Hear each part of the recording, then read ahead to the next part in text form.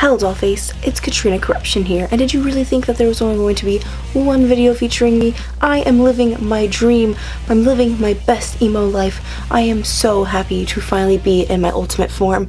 And I thought, what is more better to do while you're emo than to talk about emo boys. Because there's nothing more that I love than me an emo boy. Because you guys know how much I do love my Kylo Ren. But before him there was many others. There was tons of emo band boys that I was faux in love with and that they stole my heart and they were all over my Tumblr page. And I have gone through over a thousand pages of my old Tumblr to get the best results of who were my top 10 emo crushes. I wanted to have the most best results of what really was my crushes. I didn't want something that I thought was. I wanted who were actually my crushes, who I blogged about, who I talked about, who I thought were the cutest band boys ever. So, without further ado, let's go talk about my top 10 emo crushes.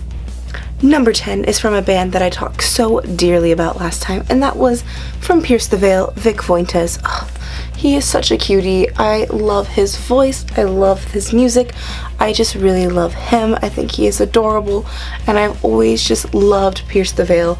They're always one of my top favorite emo bands, so he is definitely has to be on this list. At number 9, we have from My Chemical Romance. And no, it's not Gerard Way. No, it's not Frankie Iero. It's Mikey Way. I was in love with Mikey. I loved how cute he was. I loved his little glasses. He was always my favorite and always threw everybody off that Gerard just wasn't my number one. That I loved Mikey. He was just so, so cute. And him in the Helena video, I will never get over it. Ever in my life. He was just adorable. I love Mikey. I love glasses. I love nerdy boys. At number eight, we have Adam Lazzara from Taking Back Sunday. And you know you're lying if he is not on any of your lists because he was a babe. I loved him so, so, so, so much. I love Taking Back Sunday. I'm going to be seeing them this summer. Super hype about it. I love them. They just had such good music, such good times, and he was such a cutie. Oh my god, I list. I could just stare at him all day, honestly. And when they were on Degrassi, I literally died. Like, I Lost everything. Oh my god, it was just so good. He was so cute with that bleach blonde hair. Oh, Adam Lazzara. Forever in my heart. Forever. At number seven, one that's probably not really well known to everybody nowadays because the band did did stop really early on the emo career of my life. I love them, but they broke up. And that was from Scary Kids, Scaring Kids, Chad Crawford. He he was adorable. He had that long black hair. He was so pale and so cute. And I remember I had this picture of my wall of all the band and they're like in dog kennels and I never realized that they were actually naked in the uh, in the picture. No one knew. I printed it off at school so like how was I supposed to know they were naked when in school I could print out the picture, okay? And so I hung it up on my wall and it was all fine and dandy and been there for a year and then one day my aunt came over and she was like, well, you got all these naked boys on your wall. And I'm like, no, I don't. There's no naked people. And my mom lost her mind. Oh my God. She was like, what are you doing? Why do you have this on your wall? Oh my God. And then they made me get rid of my picture of Chad Crawford looking so, so cute. But oh my God. He was a lovely, lovely emo boy that I, oh man, I love Scary Kids, Scaring Kids. I gotta listen to them like right now. At number 6, speaking of Degrassi earlier with Adam Lazzara, we have good, old, faithful, the only non-band member on this list, Eli Goldsworthy. Oh my god. If you were an emo girl and you said you and you weren't in love with Eli from Degrassi, were you even emo? He was literally just emo goals. He drove freaking hearse, okay? drove a hearse, he was cute, he was angsty, he had Escape the Fate poster on his wall. Yeah, I scream capped it. I was obsessed. I died. Look at that right here. Literally, I loved him. So jealous of Claire. Claire did not deserve Eli, even though I wasn't a Claire shipper or whatever, but like, I deserved Eli. He was so dang cute, and I am thankful that Degrassi added him because I just don't know what my heart would do without him. And number five, we have Danny Worsnop from Asking Alexandria. Oh my god, was he fine. Oh my god, again, I had a giant poster of him wall. He was so cute. I loved Asking Alexandria. I had a Get On Your Knees shirt that I wore all the damn time. Like, they were my band. I was just so obsessed with him. He was such a cutie. Just look at him. And then I remember the whole scandal with the Zoom. Everyone puts their dick on the internet. But, oh, God. Danny Worsnop. You. Oh my God, right? Like, oh, you know the song. Stand up and screaming. Okay, I'll stop. I'll stop. Number four, we have a staple, a classic, a beauty, the most mega, ultimate, talented emo singer of all time, Brendon Urie.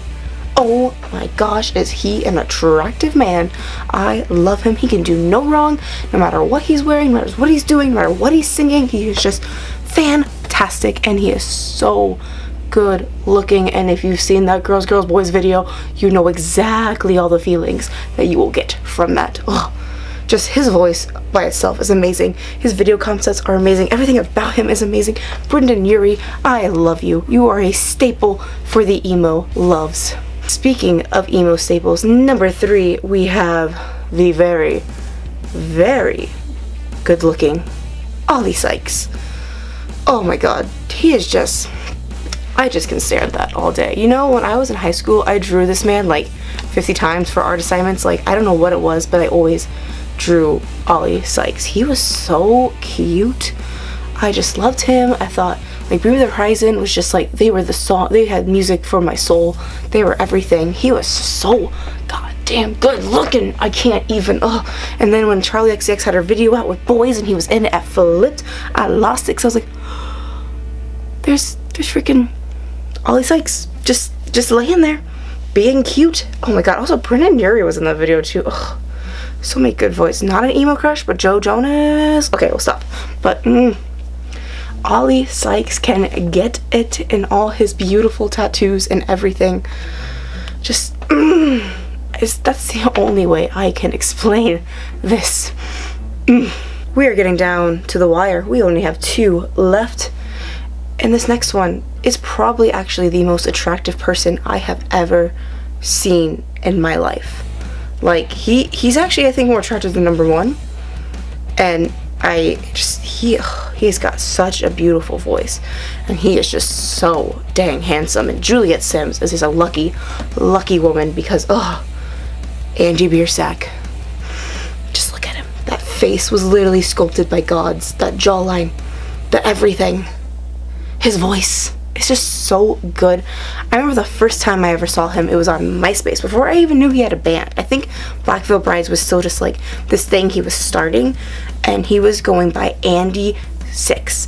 And I commented on his photos, hoping for a PC for PC all the time. But oh my god, he is just such a beautiful, beautiful man, and oh, that voice. If you ever listen to The Mortician's Daughter, like, such a good song, such a good everything. He is just so damn fine. I cannot even, I can't think of words because this man is just literally beautiful. He is beautiful. I, I hope I get to see him in person at Warped Tour this year. Oh my god, guys, this is the last Warped Tour. I'm sorry, it's still hitting me hard this is the last ever Warped Tour.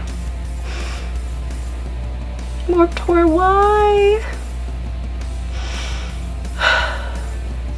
Okay, I'm sorry. That's done. We'll stop crying about Warped Tour. This is not the topic of the video. I'm still emotional about it. Okay. We need to get to number one. The most important emo crush of all time. The one where if you knew me, you know what I'm going to say. You know because my family had to hear about it. Everyone in the world had to hear about my number one emo love of all time.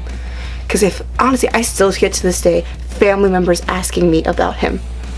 This is how obsessed I was. This is how he was my number one love. I had giant posters of him. Everything was so I had a little mirror. I had a picture of him on my mirror when I got ready so I could see him. He was my phone background. He was everything to me as an emo kid. And I still just I will never he will always be my first first real obsession and first real love. And that is Ronnie Radke. Oh my gosh, was I obsessed. Literally everything. My books, were covered in his face. My room was covered in his face. The shirt has his face on it. If I could have his face on it, I would do it. And I would do my blog. I am so sorry for whoever followed my blog from the years that I was emo because that was literally like most of my blog, which was pictures, pictures, pictures, pictures of him. Just tons and tons of pictures of Ronnie Radke over and over and over again. All these pictures of Ronnie. I was obsessed. I had never been that in love with someone before. His voice was just everything to me. His music was everything to me. Everything. That's why I was such a bee about Craig Mabbitt. I don't care now, but back then, how dare you even mention that name in front of me? How dare you? That was not, not okay. Now they're bare the hatchet and it's all cool and I'm like, yeah, whatever. Sorry, old cat, for being such a bee to Craig Mabbitt and saying you would fight him because I really wouldn't. I'm not that tough. But you know, when you love someone, you gotta support everything. So when they didn't like someone, you didn't like them, you know? That's just how it is. I am so embarrassing. Oh my god. I thought this would be a fun way to conclude this little emo series and just talk about all the emo cuties that I loved because honestly my taste in men has not even changed that much. I love me an emo boy still. You got long hair, big nose, and are emo AF, hit me up. I'm single. I don't look like this all the time, but I will love you. that was creepy. Okay, I'm sorry. I gotta stop. But yeah, I'm like sad to kind of get rid of this backdrop. You know, it's giving me old vibes of my old room. I just really was having a good time, reminiscing and being nostalgic about being emo and talking about cute boys like I used to do. And I mean, I still talk about cute boys, but you know, there's something different when it's your high school emo loves. Being emo is probably one of the greatest things that I ever went through, and I am. I'm still nostalgic for it all the time. My friends I hear all the time about Katrina corruption. But this was a lot of fun, and I hope you guys enjoyed me going back down memory lane. And if you want to see Katrina Corruption ever come back, you know, comment down below. Maybe we'll talk about more emo music or just being nostalgic of anything. Alright guys, so comment down below who your emo crushes were because I would love to hear about it and talk about all the cute emo boys that are out there in the world because there were so many more that I could have put on this list but there was only 10 slots and I wanted to be truly authentic to Katrina Corruption and who she blogged about back in the day so all that research I did hours and hours of going through the blog to find the exact top 10 were honestly worth it and it was great because it kind of reminded me of some people that I loved and just little memories. It was a lot of fun. So guys, comment down below. Let's talk about emo cuties and hang out and be super nostalgic. Thank you guys again. If you like this video, please give a thumbs up and subscribe to my channel because that would be really, really dope. I hope you guys stay lovely. Bye!